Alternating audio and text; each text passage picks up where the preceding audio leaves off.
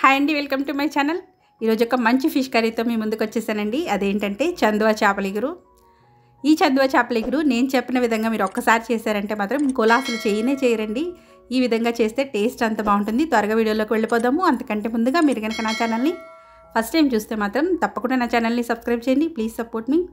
ముందుగా నేను ఇక్కడ చేప ముక్కలు తీసుకున్నానండి. రెండు చందువా చేపలను ఈ విధంగా పీసెస్గా కట్ చేసుకుని శుభ్రంగా కడిగి ఒక పక్కన పెట్టుకోవాలి. ప్యాన్లో ఫోర్ టేబుల్ స్పూన్ వరకు ఆయిల్ అనేది వేసుకోవాలి. ఆయిల్ బాగా హీట్ అయిన తర్వాత హాఫ్ టీ స్పూన్ వరకు పసుపు హాఫ్ టీ స్పూన్ వరకు ఉప్పు అనేది వేసుకోవాలి. ఈ రెండింటిని కూడా బాగా మిక్స్ చేసుకొని బాగా వేడెక్కనివ్వాలి. ఈ ఆయిల్ అంతా కూడా బాగా వేడెక్కిన తర్వాత చేప ముక్కల్ని ఇట్లా వేసేసుకొని ఫ్రై చేసుకోవాలండి. ఎన్ని చేప ముక్కలు పడితే అన్ని వేసుకొని మంటని మీడియం టు హై ఫ్లేమ్లో పెట్టుకొని ఫ్రై చేసుకోవాలి. నేను ఇక్కడ కొన్ని చేప ముక్కల వరకు వేసుకున్నానండి. వాటిని ఇట్లా ఫ్రై చేసుకోవాలి. మంటని హై ఫ్లేమ్లో పెట్టుకొని మీడియం టు హై ఫ్లేమ్లో పెట్టుకొని ఒక రెండు నిమిషాల పాటు ఇట్లా రెండు వైపులా కూడా కాల్ చేసుకుంటే సరిపోతుంది. ఇట్లా ఫ్రై చేసుకునేటప్పుడు మీరు కొంచెం దూరంగా ఉండండి. ఎందుకంటే ఇట్లా ఫ్రై చేసుకునేటప్పుడు ఆయిల్ అనేది మన మీద నాకు తుల్లిపోతుంది. కొంచెం చూసుకొని ఫ్రై చేసుకోండి. కొంచెం దూరంగా ఉంటూ ఫ్రై చేసుకోండి. నేను ఇక్కడ సగం వరకు చేప ముక్కల్ని ఇలా ఫ్రై చేసుకున్నాను కదా వీటన్నింటిని ఒక ప్లేట్లోకి తీసేసుకున్నాను.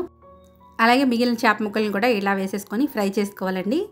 మంటని మీడియం టు హై ఫ్లేమ్లో పెట్టుకొని మిగిలిన చేప ముక్కలను కూడా ఇలా ఫ్రై చేసుకోవాలి.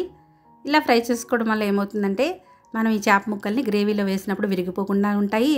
అలాగే టేస్ట్ కూడా బాగుంటుందండి. మీరు ఎప్పుడు చేపల కర్రీని ఈ విధంగా అంటే చందువ చేపల ఎగురిని ఈ విధంగా ట్రై చేయకపోతే ఒకసారి ట్రై చేయండి ఎలా ఉందో నాకు తప్పకుండా కామెంట్ చేయండి.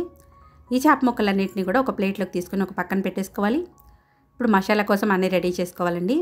నేను ఇక్కడ చిన్న కొబ్బరి ముక్క పచ్చిదైనా పర్లేదు ఎండుదైనా పర్వాలేదు ధనియాలు అలాగే వెల్లుల్లి అల్లాన్ని కూడా తీసుకున్నాను. కొంచెం కొత్తిమీర తీసుకున్నానండి. వీటన్నిటిని కూడా ఒక మిక్సీ జార్లో వేసుకొని ఫైన్ పేస్ట్లా చేసుకొని ఒక పక్కన పెట్టేసుకోవాలి.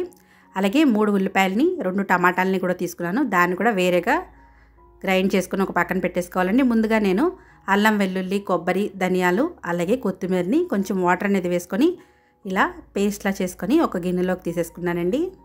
ఇప్పుడు అదే మిక్సీ జార్లో ఉల్లిపాయలని టమాటాని కూడా వేసేసుకొని మిక్సీ వేసుకోవాలి. దీన్ని కూడా ఫైన్ పేస్ట్లా చేసుకుని ఒక పక్కన పెట్టేసుకోవాలి. ఇలా ఈ రెండు మసాలాలు సిద్ధం చేసుకోవాలి. ఇప్పుడు అదే ప్యాన్లో వన్ టీ స్పూన్ వరకు జీలకర్ర వేసుకోవాలండి. అలాగే ముందుగా గ్రైండ్ చేసి పెట్టుకున్న కొత్తిమీర వెల్లుల్లి ఈ అల్లం పేస్ట్ని కూడా దీంట్లో యాడ్ చేసేసుకోవాలి. దీన్ని కూడా బాగా ఫ్రై చేసుకోవాలండి. మంటని మీడియం ఫ్లేమ్లో పెట్టుకొని ఇలా ఫ్రై చేసుకుంటే చక్కగా ఆయిల్ అనేది కొంచెం పైకి తేలుతుంది. ఆ టైంలో ఉల్లిపాయ టమాటా పేస్ట్ని కూడా వేసేసుకొని దాన్ని కూడా ఇలా ఫ్రై చేసుకోవాలి. దీన్ని కూడా మంటని మీడియం ఫ్లేమ్లో పెట్టుకొని ఇలా ఫ్రై చేసుకోవాలండి. ఇలా ఫ్రై చేసుకున్న తర్వాత దీంట్లో స్పైసెస్ అనేవి యాడ్ చేసుకోవాలి. నేను ఇక్కడ ఆల్రెడీ హాఫ్ టీ స్పూన్ ముందు వేసాను కాబట్టి నేను ఇక్కడ ఇంకొక హాఫ్ టీ స్పూన్ వరకు పసుపు టూ టీ స్పూన్స్ వరకు ఉప్పు అలాగే త్రీ టీ స్పూన్స్ వరకు కారం వేసుకుంటున్నానండి. ఈ కర్రీ అనేది కారంగా ఉంటేనే బాగుంటుంది. మీరు ఇంకా కారం ఎక్కువగా తినేవాళ్ళైతే ఇంకొక వన్ టీ స్పూన్ వరకు యాడ్ చేసుకోండి. చాలా బాగుంటుంది. లేదంటే చివరిలో కూడా వన్ టీ స్పూన్ వరకు కారాన్ని యాడ్ చేసుకుంటే బాగానే ఉంటుంది. ఇలా వీటన్నిటిని కూడా ఇలా మిక్స్ చేసుకుని మంటని మీడియం టు హై ఫ్లేమ్లో పెట్టుకుని ఇలా ఫ్రై చేసుకోవాలి. ఇప్పుడు ఇట్లా ఫ్రై చేసుకున్న తర్వాత మంటని లో ఫ్లేమ్లో పెట్టుకొని మూత పెట్టుకొని ఇంకొక ఐదు నిమిషాల పాటు బాగా మగ్గనివ్వాలి. ఇదంతా కూడా పచ్చివాసన పోతుందండి. అంటే ఆయిల్ కూడా బాగా పైకి తేలేంత వరకు మనం ఇలా లో ఫ్లేమ్లో కుక్ చేసుకోవాలి. ఇలా కుక్ చేసుకున్న తర్వాత ఒకసారి ఇలా మిక్స్ చేసుకొని చూసారు కదండి ఈ విధంగా ఆయిల్ అనేది మనకి కనపడాలన్నమాట. అప్పటి వరకు ఇట్లా మిక్స్ చేసుకొని దీంట్లో సరిపడా వాటర్ అనేది వేసుకోవాలి. వాటర్ అనేది మరీ ఎక్కువగా వేసేయకండి. నేను ఇక్కడ త్రీ హండ్రెడ్ ఎంఎల్ అంటే వన్ గ్లాస్ వరకు కొంచెం ఎక్స్ట్రా వాటర్ని వేసుకున్నాను అంతే ఎందుకంటే గ్రేవీ కన్సిస్టెన్సీ ఎక్కువైపోతే చేప ముక్కలు అనేవి విరిగిపోతాయండి. అందువల్ల కొంచెం వాటర్ అనేది చూసుకొని వేసుకోండి.